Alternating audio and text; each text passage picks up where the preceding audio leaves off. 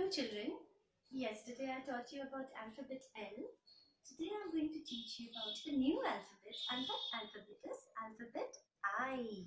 Yes, let me show you how that alphabet looks like.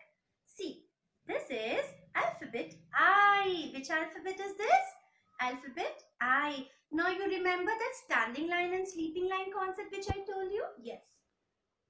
This is a standing line and this is sleeping line.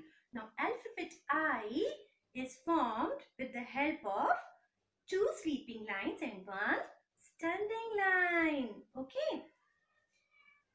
Now what is the sound of this alphabet I? Alphabet I says E. Alphabet I says E. That's right.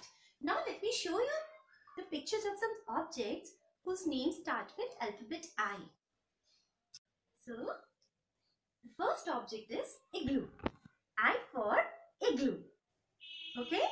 The second object is iron. I for iron.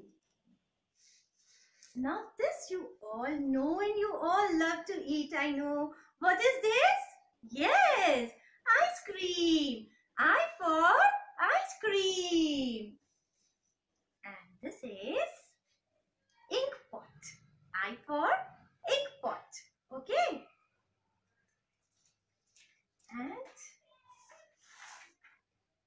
these are, what are these? Look at them. So many lovely little creatures. These are called insects. What do we call them? Insects. So insects also start with alphabet I. So, so many pictures I have shown you. So all these objects, they start with alphabet I. Let's do a quick recap. I for.